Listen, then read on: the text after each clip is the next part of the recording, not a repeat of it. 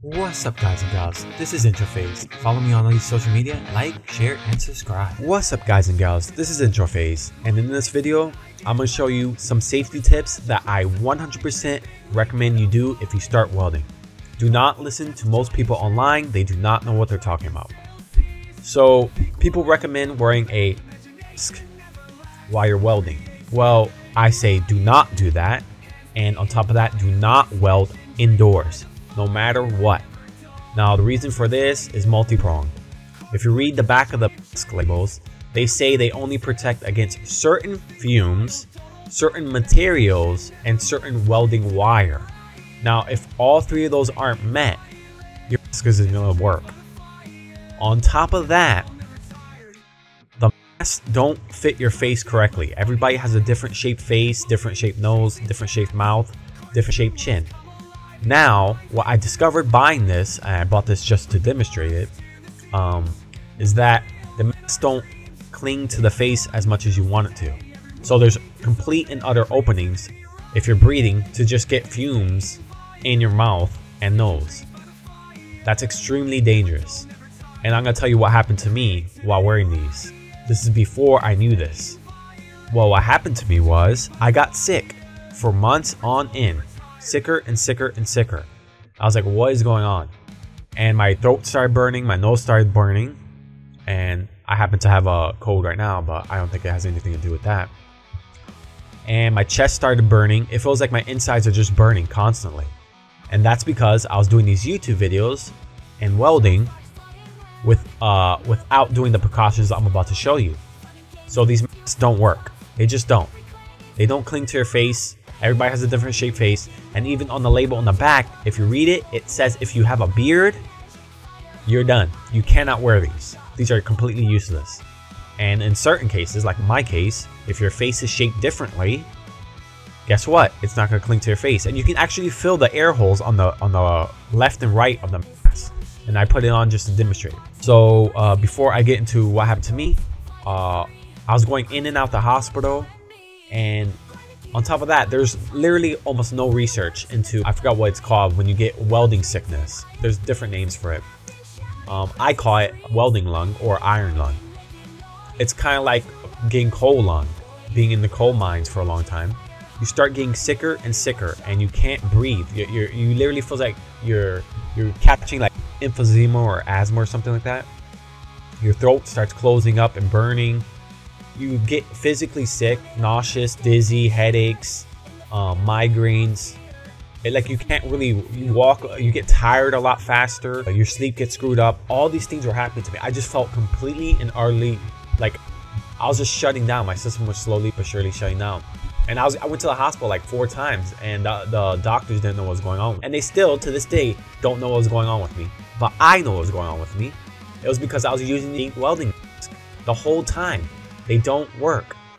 And I discovered um, by filming at night, I don't know if I have in this footage, if I can find it, but when you film at night, complete in complete and utter outside at night in darkness with a high powered light, you can see all the fumes around you. It is insane. And what happens is while you're breathing inside of the mask, the fumes are just going through the mask. Like it, on the sides, you can actually see your breathing going in and out. Smoke around your mask goes in and out, in and out. I'm gonna try to find the footage to show you guys. That masks don't work. Do not use these things. Do not weld indoors, ever. Um, and of course, this affects different people in different ways. It totally destroyed me. Like, I felt like I was dying for months on end. So my new technique is to actually do what you sing in this video, which is, let me go back here, which is actually using a fan right next to your welding, uh, wherever your welding equipment is. And wherever you're welding, there has to be a fan in that direction. Hopefully it's windy outside too, so that'll add to it. And you use that to blow away the fumes. But on top of that, while you're welding, hold your breath the entire time. So if you're gonna be welding for three minutes, you better hold your breath for three minutes. And while you're holding your breath for three minutes, after you're done welding and you have to catch your breath, walk away about 25 feet and then breathe. You're gonna see me do it in this video, and um, this actually stops you from getting welding sickness. because this thing, this stuff can, but there's like literally no real documentation. They don't know the long-term effects of it. But I was getting sick over and over and over, and it was because of this. I would weld, and then my throat would start burning, and I would immediately sick right afterwards. So these masks don't work. They're useless. The only thing that works is I, obviously the helmet, which uh, protects your eyes from going blind, of course, from uh, white blindness, from sparks in your face. But the I do not recommend but wear uh, do not weld indoors, weld outside. Find a way. Um, I, am outside a lot where it rains. Find a day where it doesn't rain or build some sort of cover over your welding equipment, a giant shack or something that's open on all four sides. Because this stuff will be you and it, it feels horrible. I'm telling you, it happened to me for months and months. I was like going through this for almost two years. And I was like, what is going on? Eventually, I figured it out. It was literally from welding.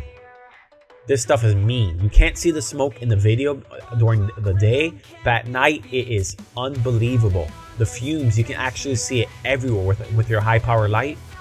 It, it just, it covers the entire backyard. Or at least, maybe not the entire backyard, but the uh, about 15 feet all around you.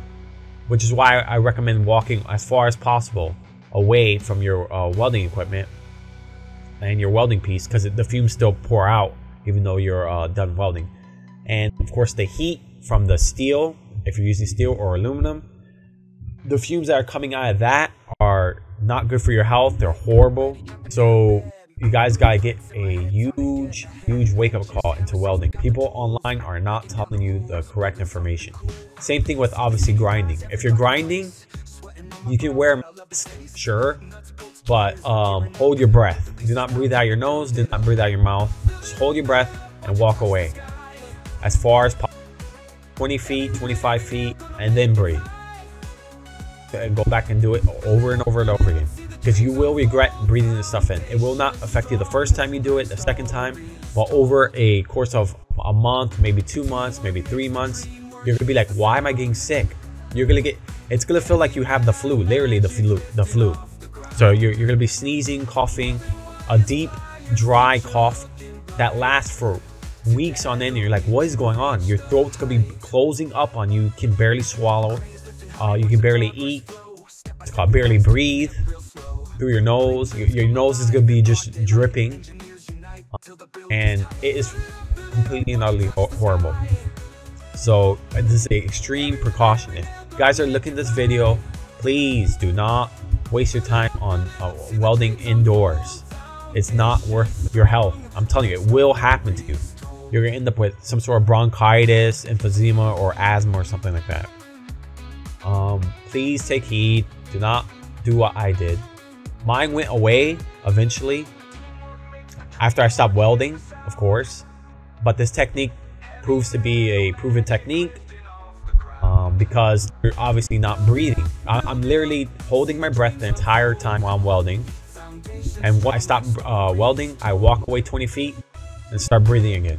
That's the only sure way you're not you can make sure you're not breathing this stuff in.